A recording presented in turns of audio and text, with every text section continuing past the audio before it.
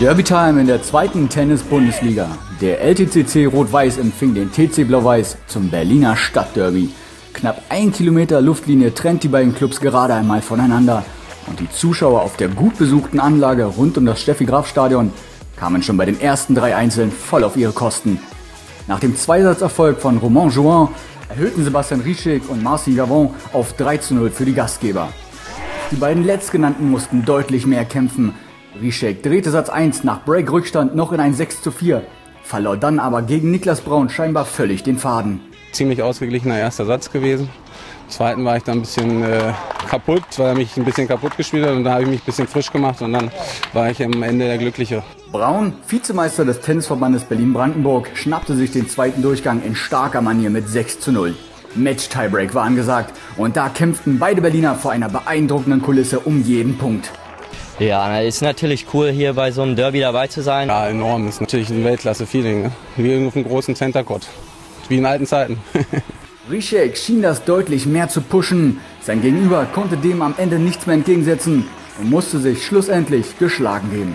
Ja, ist immer ein bisschen unglücklich, immer im dritten Satz da der match break Hat er gut gemacht und äh, ja, im dritten Satz dann war ich der Unglückliche heute. Ja.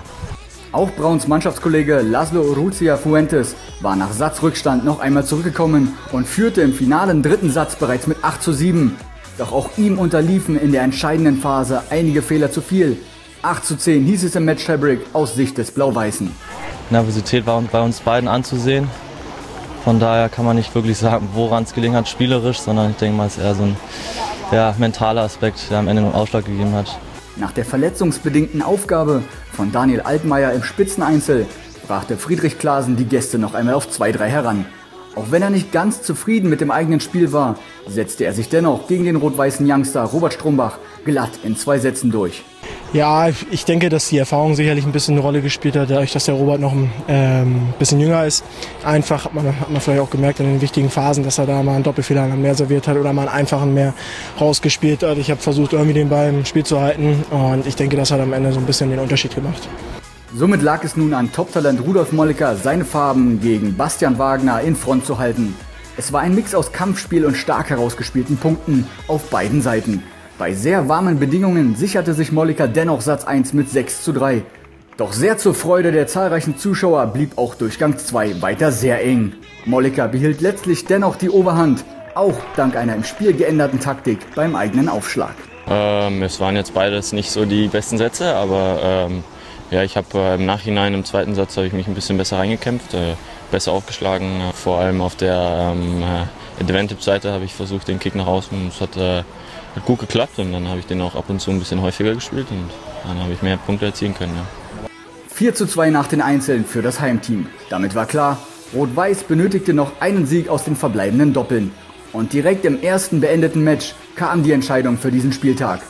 Das Duo Rishi Gavron ließ dem Gästedoppel keine Chance. 6 zu 1, 6 zu 2 und damit der Sieg für den gastgebenden LTTC. Wir wussten, dass heute ein hartes Match wird gegen Blau-Weiß, äh, Berlin-Klassiker. Und äh, sind natürlich dementsprechend ähm, super erfreut über das Ergebnis. Ja.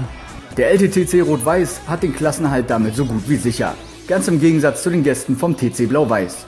Die im Endeffekt knappe 4 zu 5 Niederlage bedeutete die dritte Pleite in Folge. Wir haben natürlich mit sehr großen Erwartungen heute hierher gekommen. Ähm, wir hatten schon ein eindeutiges Ziel, das Spiel heute zu gewinnen. Aber natürlich ähm, ich bin ein Kämpfer und meine Mannschaft auch. Und ich denke mal, dass wir auch noch die nötigen Siege einfahren werden. Das Derby hat definitiv gezeigt, dass man in Berlin großartiges Tennis sehen kann. Klare Siege und enge Matches auf beiden Seiten mit dem besseren Ende für die Gastgeber.